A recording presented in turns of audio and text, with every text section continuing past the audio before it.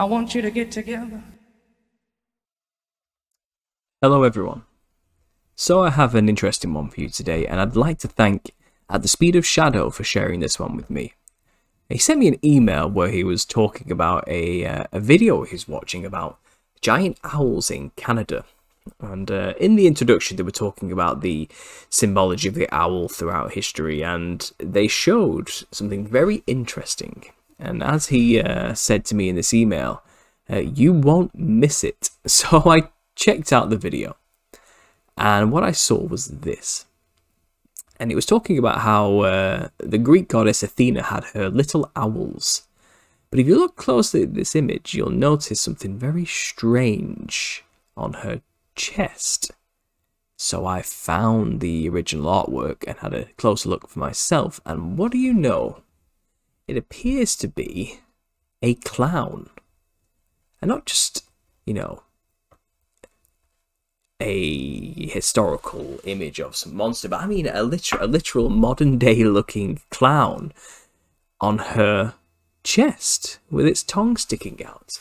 You know, you look at this thing here, and I couldn't help but think back to uh, the modern day makeup we see in like this image here. You know, this line that we often see around the mouth drawn as a common motif in modern day clown makeup. Um, and is this basically not just a depiction of this? Now, this is an old piece of artwork. You know, this is this is antiquity. This is ancient artwork on on plates. You know, and it just felt bizarre to see such a modern depiction of a clown on her chest. So if you know what this series is about, you'll understand that this this isn't really a coincidence. This is representing something that I think we understand quite well, and that's the Nephilim. But just what Nephilim exactly is this on Athena, the goddess's chest, and why is it there? So what is on Athena's chest there is what's known as a Gorgonian. And um, they were more commonly seen on the Olympian deities Athena and Zeus. Uh, they're said to have both worn it as a protective pendant. It's essentially um, a artistic depiction of the Gorgon, but in Athena's sense, it's said that the head of Medusa, who was a Gorgon, was given to Athena by Perseus as a gift after he chopped his head off. Um, and that's why she wears it on her chest. Uh, but more people, you know, real people, not gods, uh, wore depictions of the Gorgonian on their shields and on their own pendants um, as a form of like mystic protection. Um, so here's some photographic examples of Gorgonians on this so there it is on a wall as well.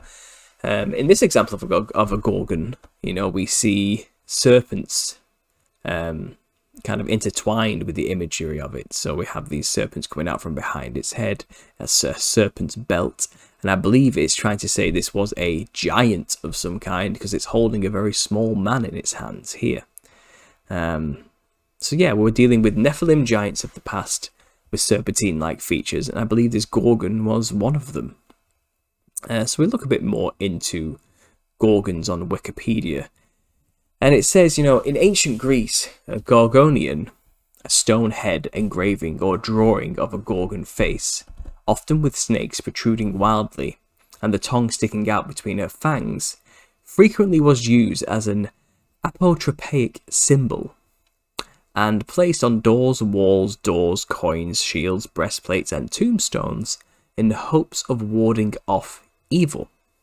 In this regard, Gorgonia eh, are similar to the sometimes grotesque faces on Chinese uh, soldiers' shields, and also used generally as an amulet, a protection against the evil eye. Likewise, in Hindu mythology, Kali is often shown with a protruding tongue and snakes around her head.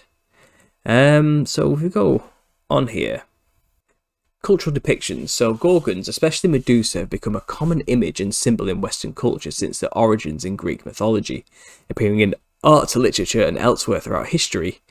Yeah, so the Gorgon is a common image mostly associated now with Medusa.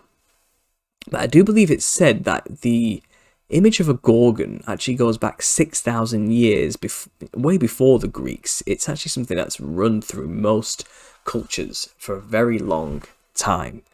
Um, so we got some interesting images here. So here is Perseus beheading Medusa. So as she dies, she has this large grin on her face, you know. Um, very Joker-like, very Jester-like. So here's a depiction of Athena with uh, the Gorgon on her chest again, like we saw originally. Here's a Gorgon depicted with very pale skin and wild red hair.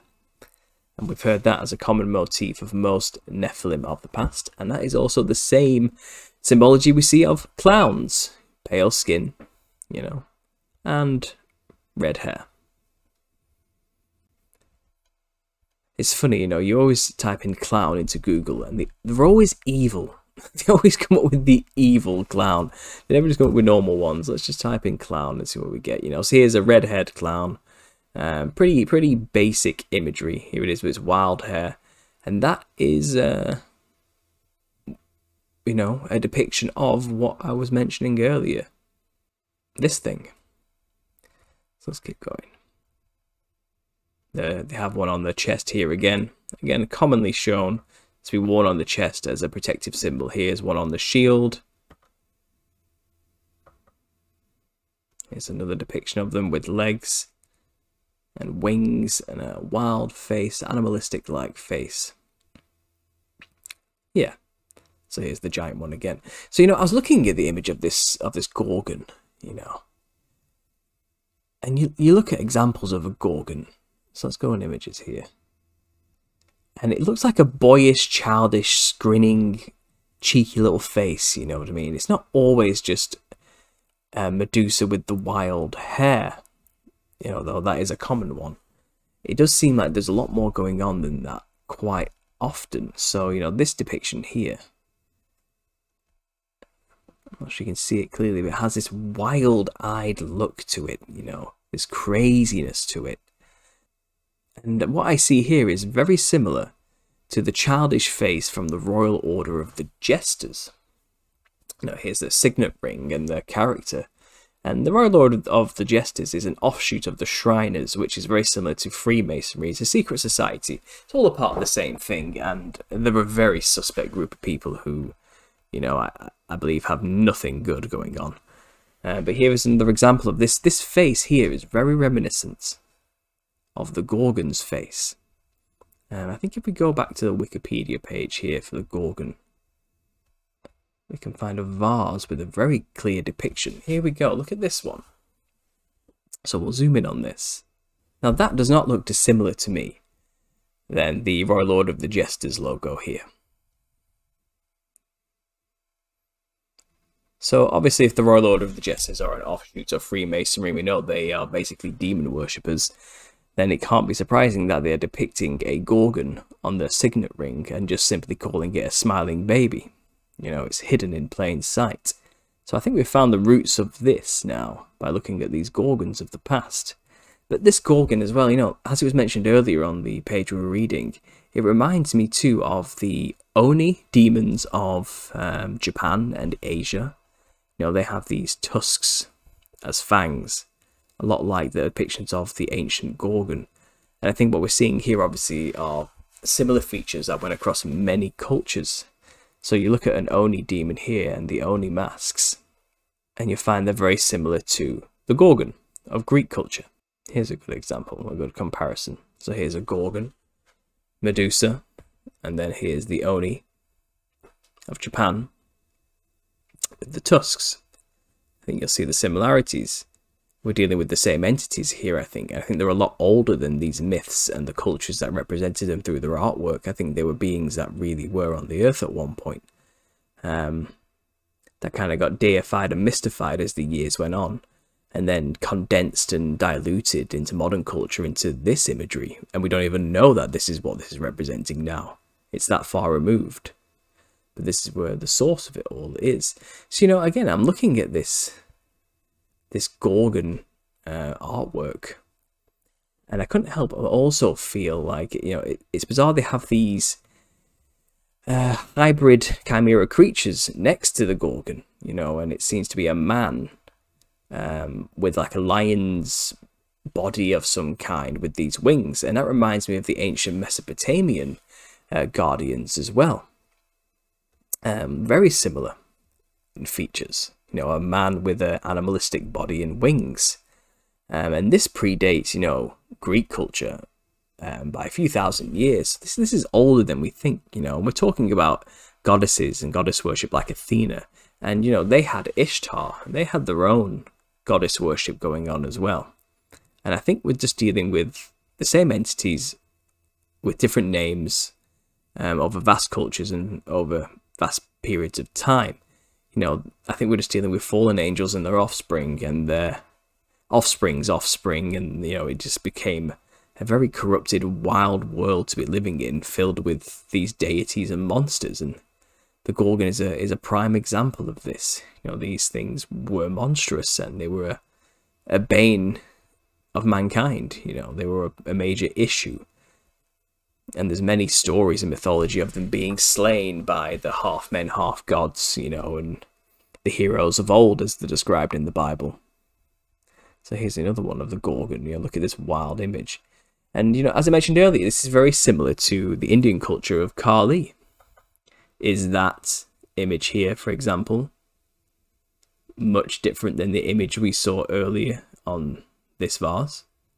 I, I don't think it is. I think we're looking at the same demonic entity, a Nephilim of some kind. Um, you know, it's and Kali was said to be, you know, very a very similar goddess in a way to um, Athena. Um, the negative aspect of uh, of femininity, you know, the uh, symbol of chaos. You know, and we look at Kali with her many arms and her tongue sticking out and her wild um, nature. You know, she, she has a, a, beheaded head in her hand. You know, the tale of Medusa being beheaded. It's all kind of blending together into this strange amalgam.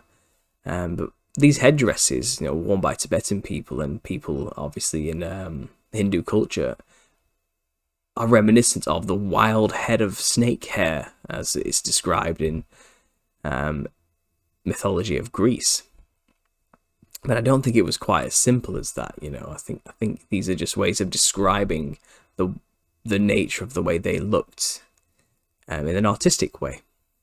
I'm not sure they really did have snakes for hair, um, but they certainly were linked with snakes explicitly because of their reptilian nature. You know, they had reptilian features um, inherited from their reptilian-like parents, the fallen angels.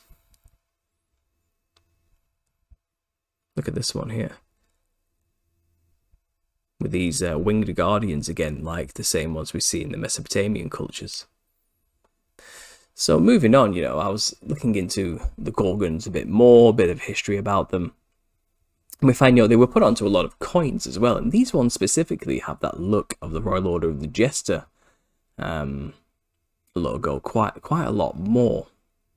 And, you know, they have this Oni boar tusk uh, Japanese demon look to them as well, and uh, quite a, a, clownish wide grin. The tongue is always sticking out, similar to that of the Kali as well. And I think what we're seeing here is a particular demon that had a lot of clownish features. I mean, look at this depiction of Kali here. you couldn't get more clown-like, really, could it?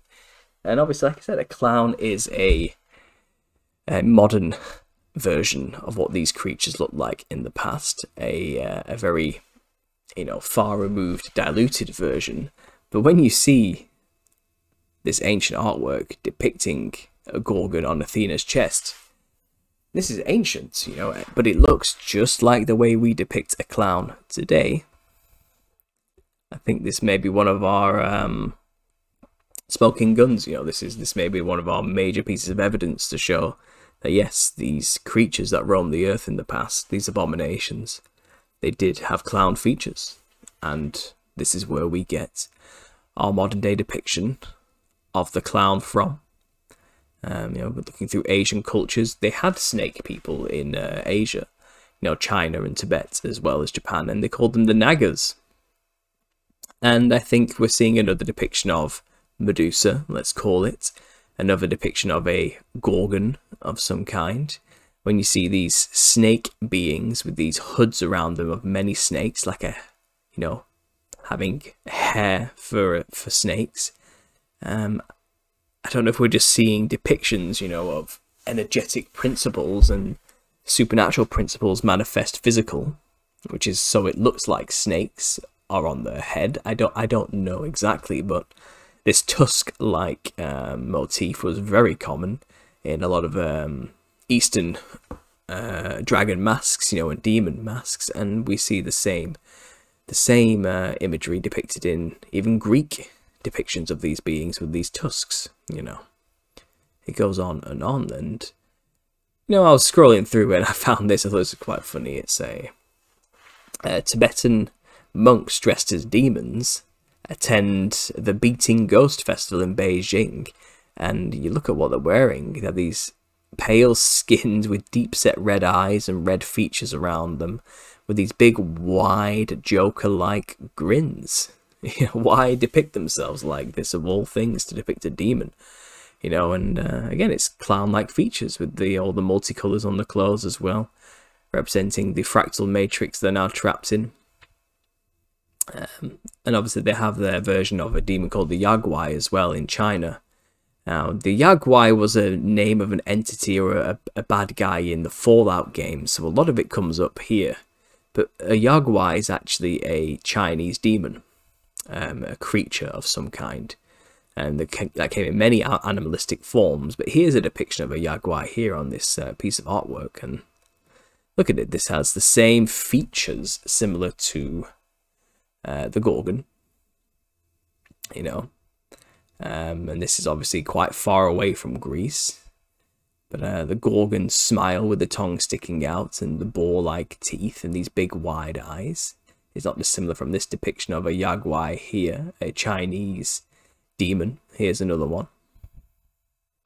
I think we're looking at the same entity, similar to the type of entity we, that Kali is, you know, and I think there was many of them I don't think there was simply just one entity that looked like this. I think many of the Nephilim had these features. They had many different types of colours of skin, just like many snakes do have many colours of skin. Uh, a white face with red features was very common. And again, this all dilutes to the modern day clown. Um, so a deep dive there into ancient culture, uh, but a bit removed from the more modern examples that we usually look at, but I definitely thought it was worth looking at. So thank you at the Speed of Shadows for sharing that information. I really appreciate it. Um, I will be making more videos soon, guys, getting more into the uh, music industry, um, AI generated images of the Nephilim that I've been working on as well. Um, and I've been going through some more examples that you guys have been sending me, which I found fascinating, which have sent me down many other rabbit holes but there's just too much to cover, cover in one video here, so I will save it for another time. Uh, thanks for listening, guys. Thank you to my patrons for supporting this channel, as always, and if you do want to support this channel, links are down below. So yeah, guys, I'll uh, speak to you soon, and God bless. I want you to get together.